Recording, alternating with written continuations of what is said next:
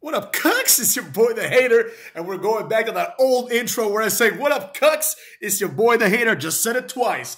Now, against my better judgment, I decided to watch Elimination Chamber last night, and I regret it deeply. Now, there were some good, there were some bad. So let's get to it with a nice little Elimination Chamber review. And with that being said, we started off with the first of our two Elimination Chamber matches arguably the least relevant. It depends on how you look at it, right? The winner of this match would go on to uh, get a title shot at the Raw Women's Championship at WrestleMania, you know? All right, fine. At least this gives you, it's almost like a Royal Rumble, right? It's like a second chance. This gives you the opportunity to go and fight for quote unquote the world title. We had Asuka, Carmella, Natalya, Liv Morgan, Nikki Cross, and Raquel Rodriguez. Personally, I narrowed this down to Raquel Rodriguez or Asuka as the possible winners, with a slight chance of Liv Morgan winning. But obviously, uh, the favorite would have had to been Asuka. Now, first up, Natalya comes up against Liv Morgan. Uh, Natalya bores everyone to death. You know, she's lame, but whatever. Liv Morgan, actually, in my opinion, did really well. You know what I mean? She kept doing code breakers that Michael Cole kept calling code red for some reason. Maybe that's what she calls it, but I highly doubt it because Corey Graves, who knows more, called it the code breaker. Long story short, Liv Morgan had some noteworthy moments. Primarily, there was a point where Natalya put her in the sharpshooter and she wouldn't tap out. Asuka comes in, does like an armbar as well, right? And then she still wouldn't tap out until she passed out, right? I thought this made her look really strong, and it really put over the fact that she's willing to do whatever it takes to win, right? We need more of this. We need more of this kind of storytelling, which I will contrast with storytelling in the main event a little bit later when we talk about that match. You know what I'm saying? Long story short, in the end, it's Carmella and Asuka. They do like a bunch of super kicks on Raquel Rodriguez and pin her, like they double pin her. And then, of course, Asuka beats Carmella shortly thereafter. You know what I mean? At, at that point, obviously it wasn't going to be Carmella. It was 100% going to be Asuka. So there you have it. That happened. The match, while it had some moments, it really, to me, fell kind of flat, right? It's like, uh, yeah, just six jobbers basically. Asuka's a jobber as far as I'm concerned at this point, but she is the most noteworthy winner, and I think she's going to beat Bianca Belair, who, in my personal opinion, has had a horrible title run because she's kind of, you know, formulaic and boring. I don't really like Bianca Belair that much anymore, Next up, we had Bobby Lashley versus Brock Lesnar in what I consider to be a great five star classic. Now, I know what you're all thinking. You're thinking, hater. The match ended with a DQ. How can it be a five star classic? Well, cucks, that's because I'm rating the entire segment, right? For those of you that didn't watch it, the match was quite short. It was like less than five minutes, like I just said, right? Bobby Lashley and Brock Lesnar keep doing their moves. Long story short, after several spears and several F5s, Lashley slaps on the hurt lock, right? Brock Lesnar is teasing that he's going to be able to break out of it, but he can't. So what he does instead is he low blows Bobby Lashley, right? And then proceeds to F5 him, right? After he gets disqualified, that is. Uh, he also F5s the referee. You know what I mean? Then he F5s Lashley again. Then he throws Lashley to the outside and F5s him through the table. And then the best part was when he grabbed the referee from the outside and then fived him one more time, right? It really put over the fact that Brock Lesnar is basically an ass, but it doesn't matter because the crowd loves Brock Lesnar. Bobby Lashley is boring in comparison. Bobby Lashley is slightly smaller. I always thought he was bigger, but seeing them next to each other is just clear that Brock Lesnar is the superior specimen. Not to sell Lashley short, Lashley is like probably the second uh, best guy in this company in terms of physique and in terms of believability. But he was going up against the first guy. Obviously, this is going to have some sort of resolution at WrestleMania. In my personal opinion, this should be one of the main events, you know? But that's neither here nor there. We'll see what happens, right? Next up, we had what I personally thought was one of the best matches of the night. You know what I'm saying? Edge and Beth Phoenix versus the Judgment Day of Finn Balor and Rhea Ripley. The fact that Edge basically looks as good as he always has is a testament to how good of a wrestler and how good of a legend Edge is. You know what I mean? Um, in my personal opinion, he should be way beyond feuding with these mid-card nobodies called Judgment Day. But what are you going to do, right? This is the plan that they have for him. We'll see what happens at WrestleMania. I expect some sort of tag match involving him and Rey Mysterio versus like a Dominic and like a Finn Balor or something like that because you have to put both him and Rey in the card and this is probably the best way to do it. But what are you going to do? We'll see how that how that plays out. Um, the match was great because of the fact that Edge and Beth Phoenix were both wrestling really well. Edge better than Beth, but Beth definitely held her own. Uh, Rhea Ripley, considering what she is, she does a great job. You know, in my opinion, she's the number one broad in this company. And Edge might be the number one dude in this company. I'm not even exaggerating. You know, it's probably Roman Reigns, but Edge has a good um, argument at being the number one guy in this company, especially considering that he only wrestles once in a while. But every time he does, he, he puts on a good match, right? So I personally would have loved to just have seen Edge lead the Judgment Day continuously and then have Edge versus Roman Reigns at WrestleMania. You know what I mean? Judgment Day versus fucking uh, what's it called?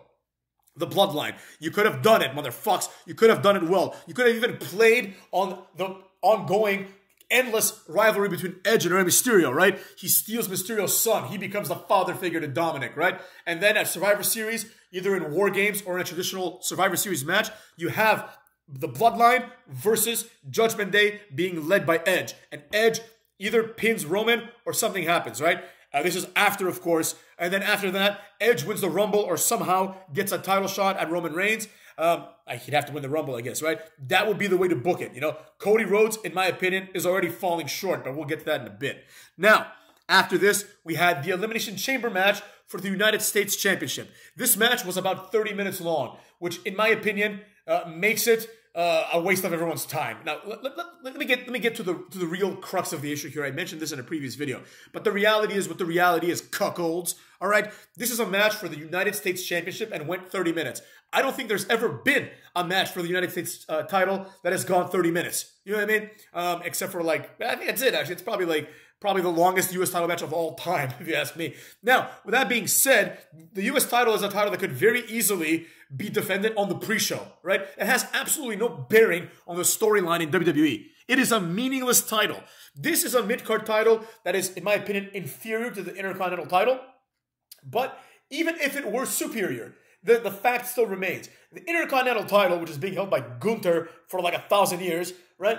The IC title was a title that Randy Orton didn't even want. When Jeff Hardy was the IC champion and was challenging Orton for the WWF title or whatever the fuck it was for the World Heavyweight title, Randy Orton just low blows Jeff Hardy, hits him with the RKO, essentially disqualifying himself in a match for the Intercontinental title. And then you hear Michael Cole being like, Orton never cared about the IC title, and the answer is, of course he didn't. He's Randy Orton. He's the world champion. Why the fuck would he care about the IC title? Now, the the the counter argument to this is that this match was full of complete jobbers right? I mean, we had Seth Rollins, who I will concede is an upper mid carder, not a jobber. He's definitely not a main eventer anymore. You know, main eventers do not do not appear in elimination chamber matches for the mid card title. You know, he's a mid carder, but he's an upper mid carder, right? You had Austin Theory, who one day is going to get a push of some sort, right? And then you had Bronson Reed, who was fired like last year because he wasn't good enough. Damian Priest, who is underrated and did really well. Johnny Gargano, who I don't even know how this guy has a job in the company, to be honest. And Montez Ford, who everyone's talking about. Oh, Montez Ford stole the show. Did he?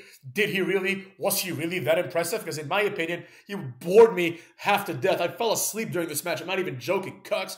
I mean, I did eat some tres leches up in this piece, so that may have had something to do with it. But I fell asleep nevertheless. So, uh, the only noteworthy thing, there's two noteworthy things in this match. Number one, uh, Bronson Reed, or number, I guess three noteworthy things. Bronson Reed was treated almost like a big show, right? In the sense that it took like three finishers to take him out, right? Like it was clear he was going to get pinned, but he got finishered uh, up the wazoo, as they say, cuckolds. Johnny Gargano did the very unimpressive and, you know, anticlimactic one final beat DDT, which shouldn't even be a signature move, but it's like his finisher now all of a sudden, right? Then Rollins hit the stomp, which is a legitimate finishing move that has ended main events.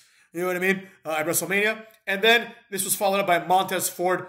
In my opinion, you know, underwhelming splash. He should have climbed to the very top of the of the pod, right, and just done it from there. I understand he did other spots, but that's an opportunity. You know what I mean?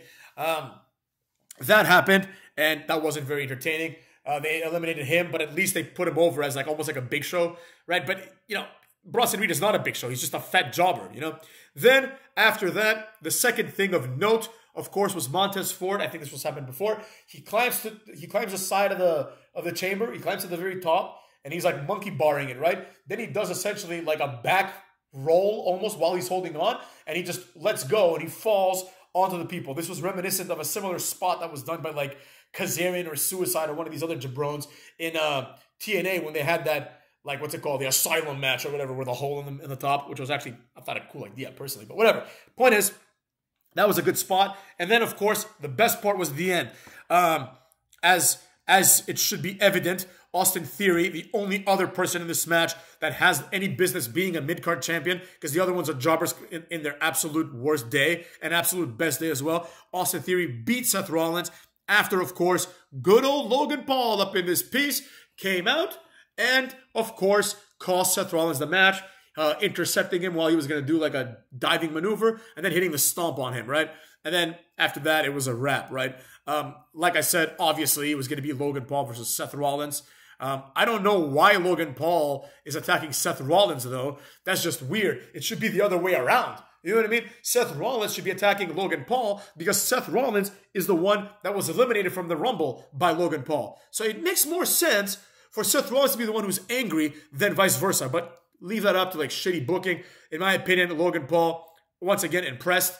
I really do believe, and I know people are probably not going to like this, but I really do believe that certainly athletically, Logan Paul is better than basically almost everyone uh, on this card, with the exception of maybe Lashley and Lesnar. Aside from that, he's a better athlete than Rollins. He's a better athlete than Reigns. He sure as shit is a better athlete than Sami Zayn. He is like a pure athlete, right? So his, his athleticism in and of itself is enough, in my opinion, to warrant his spot on the card. Forget about his celebrity. But I honestly do believe that if you train Logan Paul seriously in wrestling for like a year and a half, he would be better at wrestling than everyone on this card except for Edge, Lesnar, and possibly Bobby Lashley. He would become a better wrestler than Reigns. He would become a better wrestler than Seth Rollins, who's right now one of the best wrestlers around. He would be better. And also, what the fuck has happened to Seth Rollins? This guy's just looking sloppier and sloppier every fucking time. You know, remember when he was jacked and muscular? You know, and all of a sudden now he's just like he looks like a mid carder. You know, I guess that's what happens when you when you get put in a mid card up in this piece. But anyways, uh, that went down the way it went down, and there you go. That's how that's how the, the storyline goes here. You know, we're going to see what happens. Lastly, and finally, we had the main event. Now, the main event took a fucking eternity. I knew it would, but just the entrances alone took a, a thousand years, it felt like, right? Now, the main event is the type of main event that people are going to love. People are going to talk about this match as if it was the best match they've ever seen, right? Personally, I didn't particularly like it. It reminded me a lot of uh, what's it called? The storyline between Jey Uso and Roman Reigns like a year and a half ago, right? It's the same fucking storyline. You know, people are pretending like this is like the best written storyline of all time. It's the same storyline. It's basically the disgruntled guy who doesn't want to be the underling anymore. That's what it is at its core, right? The fact that Sami Zayn stood up to Roman Reigns is no different than the fact that Jey Uso stood up to Roman Reigns. It's the same fucking thing. And as a matter of fact, they almost alluded to it during the match. After the 17th time the referee took a bump, right? Jey Uso comes in and pretty much just wastes everyone everyone's time. He comes in there, Roman gives him a chair to go attack Sami Zayn. It's the same thing that happened at the last pay-per-view, where he gave Sami Zayn a chair to attack Kevin Owens. But instead of hitting either Sami Zayn or Roman Reigns, Jey Uso just stood there and took it. And he got pushed in the face several times, and that that led to that. Now here's the problem. After all this this shit happened, we were reminded very quickly that Sami Zayn is a jobber and that Roman Reigns is the champion. And that's when Sami Zayn tried to spear Roman Reigns. He takes out Jey Uso instead. Roman Reigns picks up the chair that Jey Uso had, beats the shit out of Sami Zayn with it. Sami Zayn gets up, gets speared. One, two, three. It's a wrap, right? They pan to the crowd where a bunch of people are left with their mouths agape, surprised that the jobber, the mid card jobber, lost to the probably the, one of the best main eventers of all time in terms of booking right? Of course he was going to lose, you dipshits. Did you really think Sami Zayn was going to main event WrestleMania? Have you lost your mind? This is like, Sami Zayn is the kind of guy that if you're going to give him a world title, he's like a Kofi Kingston at best, right? You give him the world title when you have another champion that's better and more important, right? K- Kofi Kingston can go ahead and beat Daniel Bryan, who has the vegan belt, right, which is made out of like hemp, right? While the other champion on Raw leads the, the the charge, if you will, right? That's the that's the purpose of a, of a Kofi Kingston or a Sami Zayn. It's the same thing. Sami Zayn is never going to be the undisputed world champion. He's never going to be the face of the company, right? Because he cannot be the face of the company because he doesn't even get his hair cut, all right? So, with that being said, Sami Zayn, you know, he did good. Like, like I can't fault Sami Zayn. He's doing what he can with his limited ass moveset as well as his limited ass like storyline because people I understand people are, are just confused and they don't see good storylines. So, you know, giving them the same thing as a year and a half ago where uh, people did the exact same thing, right? To them seems like new wrestling, but it's not new wrestling, cucks. It's the same fucking storyline and it seems like they're to do it again with Jey Uso. Now, uh, at a certain point, I understand we were in Montreal, so of course, uh, what's his face? Uh, Kevin Owens would have to invariably come out, right? He would have to come out because that's just how it how it goes, right? The crowd needs to be pandered to, you know what I mean? And that's the problem, right? The problem is we have to pander to the crowd. This was an opportunity to actually bring out Cody Rhodes to remind the fans that there's a cocksucker called Cody Rhodes that's going to be at WrestleMania. Because how the fuck would I even remember what's happening when in the main event the people being profiled are Sami Zayn, uh, Sami Zayn and Kevin Owens, right? Kevin Owens beat the shit out of Roman Reigns and Jimmy Uso. Jey Uso was taken out by the spear or by the whatever by the chair shot. What the fuck? Well, I don't, even, I don't remember. It was a chair shot or a spear. Who cares? Who knows? Who knows? Who cares?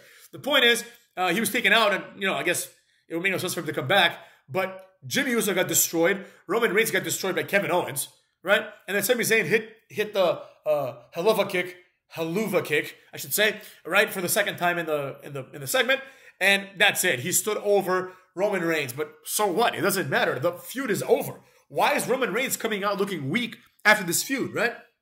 He should come out looking strong, and therefore make for a good adversary for Cucky Rhodes to overcome at WrestleMania. Now, personally, what I think should happen and what I want to happen is Roman Reigns beats Cody Rhodes. And the reason why I want that to happen is because Cody Rhodes, in my opinion, is another Sami Zayn. He can, if you want, if you absolutely must give him a run with the title, you know, make Brock Lesnar the Universal Champion and let Cucky Rhodes become the World Champion for like a few months right? The WWE champion, I should say, right? Give one of the titles to a real wrestler like Brock Lesnar or Roman Reigns or even Drew McIntyre, and then you can have Cucky Rhodes win part of it through a through a, through a different way, right? That's the way you do this. It's there's no other reasonable way to get this done, right? But you know, obviously it's WrestleMania, and I would say that at every WrestleMania, the Royal Rumble winner is generally speaking the favorite to win the title match, especially when the Royal Rumble winner is fighting the main champion. Like Nakamura didn't win, but he fought the, let's be honest, I love AJ Styles, one of my favorites of all time, but he fought the B champion in AJ Styles, right? So who cares? It doesn't matter, right? Same thing. Rhea Ripley is going to be favored to beat Charlotte. Anything could happen, right? But that's that's how it's that's how it's being presented to us, cuckolds. So with that being said, I personally believe that Cody Rhodes has no business being um, in in my opinion, in wrestling at all. Like I don't know what this fucking asshole adds to the to the card. He's decent in the ring, but like this John Cena, you know, next John Cena gimmick is not working out. You know what I mean? We have, and I'll and I'll say it. You know, I'll say it like it is, as as usual, motherfucks. Like we have Austin Theory. Austin Theory is great. He looks like a million bucks in terms of his physique. Like he looks like like he would destroy Cody Rhodes, right? There was a point where all of us it was so goofy. It's like I understand that Austin Theory is like the cowardly heel in many ways, but there was a point where he's hiding, right? In the in the pod, in one of the pods from Johnny Gargano, I believe it was, and Seth Rollins. And it's like Seth Rollins is like behind him, like waiting all coy, like waiting for him to turn around so he can beat the shit out of him, right? And I'm like, you just look at Seth Rollins, and then you look at Austin Theory, and you're like, okay, clearly Austin Theory would completely massacre Seth Rollins in real life just based on their physiques, and he would massacre 15 Johnny Garganos, right? So it's like obviously two on one. One man seldom can beat two men. But it was just ridiculous that Austin Theory was afraid of Johnny Gargano, who I would destroy in about five seconds. You know what I'm saying? So it, it doesn't even matter like how, how they present him. But the idea is that you have Austin Theory, who's younger than Cody, has a better physique, and in my opinion is better in the ring. But that's neither here nor there. He's going to get his chance too. But that's the one that they, they need to be pushing, right? Hell, I'll even take Logan Paul at this point before Cody Rhodes. Cody Rhodes is in his mid 30s. He's only like a few years younger than Roman Reigns. And that's the thing that bothers me the most is that like the way that it's being presented, I just googled it. Roman Reigns is 37, soon to be 38, but he's going to be 37 at WrestleMania. And let's see how old Cucky Rhodes is. 37 here, Cucky Rhodes 37. They're actually the same age Cody Rhodes is like a month younger than Roman Reigns. But the way that the storyline has been presented and the way that people talk about it online is like Roman Reigns needs to move over to make some room for the young guys. What young guys? Roman Reigns is like a multiple time WrestleMania main eventer and he's going to headline WrestleMania once again, but now it's going to be against Cody Rhodes, who is his age, right? And who is best known for having one good match with Rey Mysterio at WrestleMania and then having a few matches with Darby Allin that 15 people watched, right? The fact that Cody Rhodes is in the main event screams of nepotism, and I don't like it. You know what I mean? It is what it is. They're they're high on Cucky Rhodes, but in my opinion, it's almost a joke. The only way that I would book Cody Rhodes at WrestleMania would be this: somehow somehow Triple H comes out uh, on Monday and just screws him and says, that's it, Cucky. You're not going to be the main event. But but I won the Royal Rumble. Tough shit. Nobody likes you. You suck ass. We're changing the rules. It's going to be Sami Zayn or whoever the fuck they choose, right? And then you, you start a program, Cody Rhodes versus Triple H. The match happens at WrestleMania. Cody Rhodes tries to do a disaster kick. Triple H just slaps him in the face midair, picks him up, pedigrees him about five or seven times, pins him one, two, three, tosses him out of the ring, and we never hear about Cody Rhodes ever again. That's the way that I would book Cody Rhodes myself, but that's neither here nor there, motherfucks. Instead, we're gonna see Cody Rhodes in what what I can only describe as the worst main event in the history of WrestleMania, except for, of course, when Becky Lynch main evented and won against Charlotte and Ronda Rousey. That was the worst one. But this is gonna be a very close second. You know what I mean? And the facts are what the facts are. Either it's gonna Cody Rhodes is gonna win by coming back, fighting resiliently, and hitting three Cross Rhodes in a row, or he's not going to do that and he's going to get speared and one, two, three. those are the only two outcomes, right? There's no opportunity here for twists or turns, right? And if they do a twist or turn, they don't need to because it's not going to be good anyways, motherfuckers. And with that being said, take care of yourself and go fuck your own mothers up in this bitch. You know what I'm saying?